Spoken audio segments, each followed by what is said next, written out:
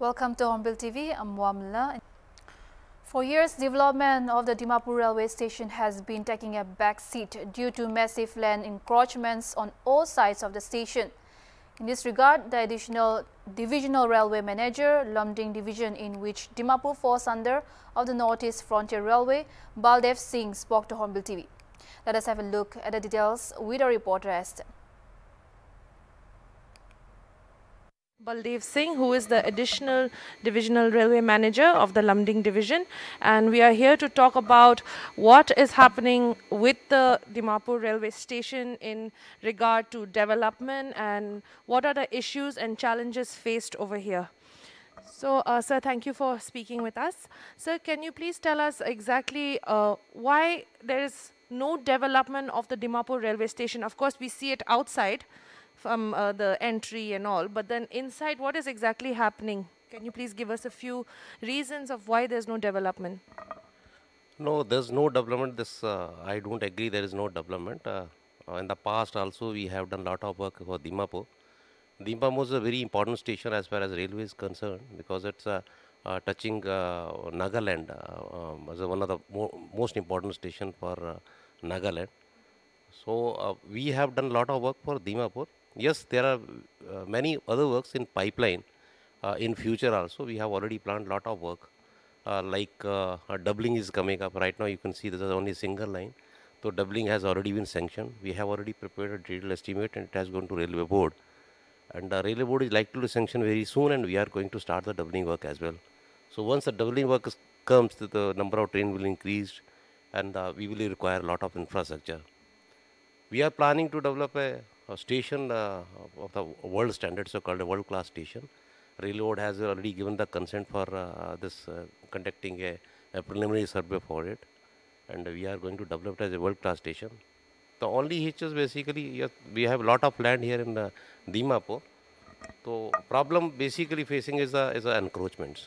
You can see uh, if you go uh, towards the uh, Guwahati side or it is a uh, it is a Tinsukia site, Furkating site, both end of the station yard as well as uh, the surrounding area as a full of encroachments. There are uh, hutments, there are pakka structures and everything is there. We had started, you know, the kind of a little bit of expansion of a platform. You can see there is only one platform which is taking a passenger. Other platform, you even the cover shed is also not there. You can see that there. So we had uh, already started the work of extension of the platform uh, so that we can provide the covering and all. But we are not able to do it because there are encroachment uh, around it and uh, once we had started uh, uh, removing it, the people had gone to the court and the matter is under the litigation right now. So though it's a railway land basically, but since it is not being, you know, vacated by the encroachers, so we are not able to do the justice with the with these stations. But yes, we are on the job right now, and uh, I'm very hopeful that we will be, you know, uh, we will be able to vacate those peoples out of it, and uh, we will do the development. Railways are very, you know, dedicated to get it, this uh, uh, Dimapur station developed. So, how many platforms uh, does Dimapur railway station, you know, is it supposed to have? How many platforms exactly as of now? Uh, right now we have three platform, uh, wherein the we running platform we take up passengers trains. We have another platform only for the good circulating area. Uh, the, right now the three platform, but uh, platform number two and three, uh, we don't have any cover shed. So we are only small, uh, you know, individual isolated structures made for covering shed. as such, we don't have a covering shed that we can see in platform number one. The reason being, uh, see, that's only the reason that we are not able to, you know, expand. There are a schedule of dimensions which is infringing on plat number two. So that is required to be, you know, widened out. So we are not able to widen out. So as far as the number of platforms required are concerned, uh, these platforms right now we have, these are more than sufficient right now to cater the uh, traffic we have. But in future, yes, we will be requiring maybe another two platform to uh, handle the, uh, you know, the traffic kind of passenger uh, we are we are we are envisaging. Uh, as uh, reported, Dimapur is the highest revenue generator in uh, the Northeast Frontier Railway in regard to the passengers that are coming in and going out. So, shouldn't this be of more importance right now in the Northeast to have this station, railway station, be more up, uh, you know, and about and more world class, you know, being the highest revenue generator? This is true. Uh, this is one of the uh, you know station which is uh, giving a highest revenue. It's not highest basically. It's one of the one of the stations. So very other other stations also in Northeast Frontier Railway, which are giving the revenue to the railways. But yes, Dimapur is a very important uh, station for us as far as the revenue is concerned. And we are planning this. I told in the beginning that we are planning to develop this station a world-class station. But see, uh, the world-class station, the the name itself suggests that it's a world-class doesn't mean that uh, we have to create a few structure and uh, make the world-class station and make the facade and all. This require a lot of facilities for the passengers. See, the world-class station, the passenger should should should only uh, you know walk uh, uh, without any entrances. There should not be any difficulty level. The exit and the entry level has to be a separate. The parking has to be a separate. The the people people should not face any kind of problem. And see, this station is like a city center. It should see the Dimapur, even Dimapur, you talk of the Guwahati or Dimapur, any major station. The city, the station should be a city center. Why the city should we should be alone? We are part of the city. We are part of the development. Railway is looking for the development. And the, the, once the station is a part of a city, then it should be a city center. People should already come to the station for catching up a train. The my in my view, the people should come to the station to you know to buy something, to they can they can uh, for, come for cinema they can come for the hotels they can come for the restaurant they can come for the leisure uh, uh, point of view. So that's a world class station. So we so that for that we require a land. And land yes railway has a land. I told in the beginning that railway has a land. There's a lot of land we have. But the land has been encroached over a period of time. Over a period of time it has been encroached and it has to be vacated. We are putting up efforts uh, definitely. The things will come up and you'll see the development we have already developed the station uh, as per the present requirement, but in future, yes, it has to be developed further, and we are on it. What role does the state government have in this, basically, for the encroachment that is happening in their jurisdiction? So, what role does the state government play in this? See, the land is a state subject. State government has a lot of role as the law and order is concerned. We had taken land from the state only so the land, as far as the encroachment is concerned, the removal will be require uh, cooperation with the state government. The matter is being taken up at the district level. Uh, many times it has already been taken at the secretariat level in the Kohima also. We are on the job. State is also, you know, kind of a, uh, they are also want to development, uh, development as far as the Nagaland is concerned. I'm sure the uh, time will come. The people uh, will be evicted from the this thing, and we will get it, you know development. Uh, after this eviction has happened and everything, uh, once that is done and an encroachment lines and demarcation is made in these all uh, from both ends actually and then left and right as well. So do you think that development will happen and then platforms will start uh, more trains, more passengers be able to take up, uh, you know, go take up more trains with the more platforms? Yeah, surely. See, this is only single line even for double line, we don't have a land. You could just go and see. There are a lot of encroachment. Even we, we can put a, we don't have an inch of a land where we can put, we can put the second track. We have to put a line there. So once the second line comes, the, definitely the train will increase. We require number of trains. Because the passengers uh, definitely we get the better facilities. Even the uh, railway electrification work, it is going on. The target is December 22. So that electrification comes, there are infringements uh, as far as uh, this is concerned as, as a road over bridge uh, in the uh, cutting side. This is required to be dismantled probably because uh, there is an infringement of height. So this will be required to be reconstructed again. So where we will reconstruct? The railway hand has already been closed. It has the people has to you know though they was to be evicted or uh, they have to put somewhere else by by the by the authorities uh, so that uh, we can go for the construction of these ROBs and uh, go for the development. So you're just waiting for the state government to take action on the eviction or moving of these people encroachers and then you can start the work. Is that uh, what you are uh, saying, sir? Not the state government exactly. Basically, see the uh, removal, um, an eviction, removal of the encroachment is, is a responsibility of railways. But the state government has to cooperate us they have to provide us a lot, um, as far the security is concerned, the law situation is concerned, they have to help us get the things evicted.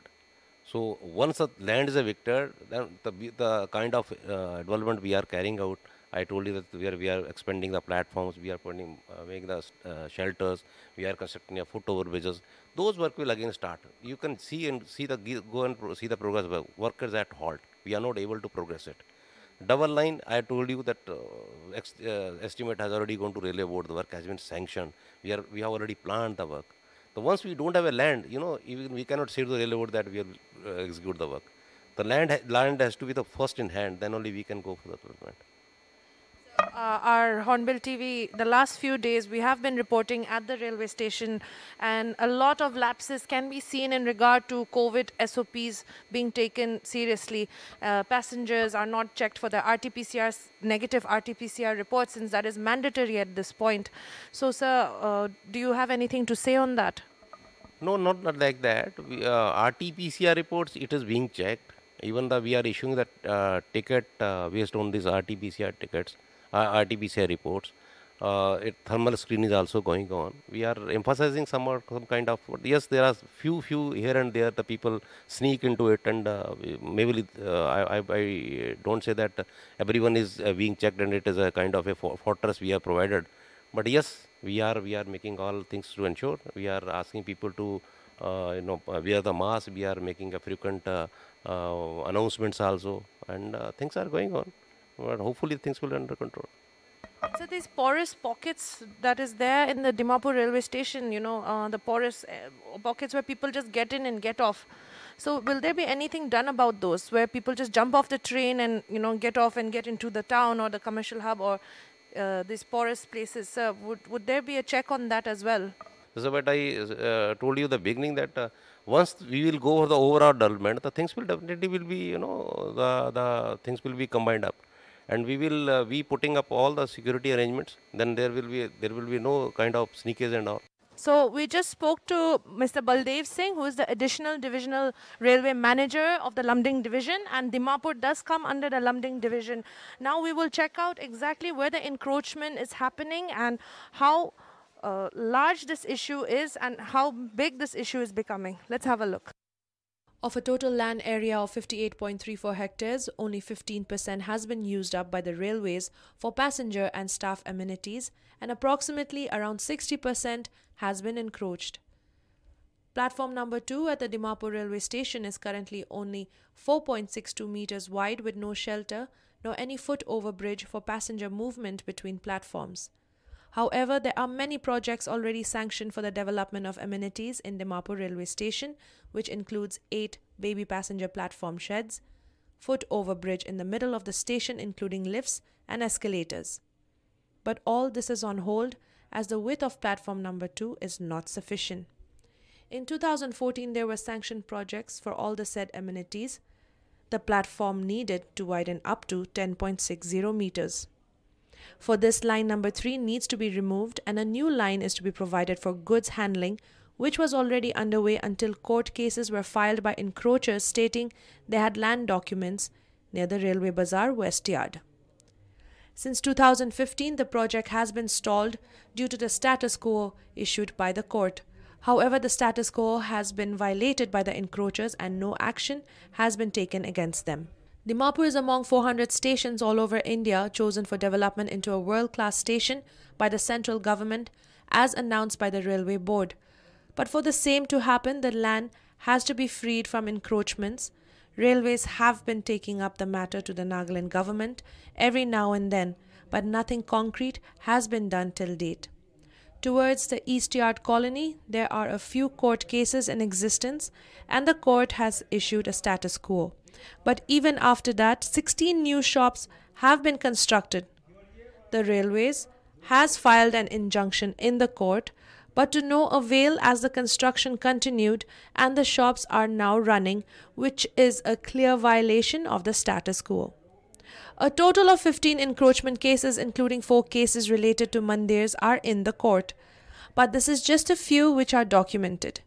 In total, there are more than 1,500 unauthorized structures in existence, of which only 1,000 are in the survey report, and the remaining could not even be surveyed because of various reasons prevailing in the commercial hub. One entry to the passenger reservation system building has been closed because of encroachment causing undue trouble for the passengers. Further, the Lumding Furkating double line project is already in the pipeline, with survey completed and tenders on the way for uploading. The work is supposed to start from June 2022. However, if the encroachments are not removed, the project will not materialize, it was informed. So, we have just found out that 58.34 hectares belongs to the state of Nagaland for the railways, but then 60% of it has been encroached so far and only 15% has been utilized. And might I also add that Dimapur is one of the three railway stations out of, let's say, over 400 to be nominated to get world-class railway stations. But due to the encroachment issue and having no land for development, the project cannot be sanctioned as yet and the RLDA will be pursuing this project but then due to no land and due to the encroachment issue, Dimapur is yet to know what its status is in having a world-class railway station. Reporter Esther with camera person Johnson signing out for Hornbill TV.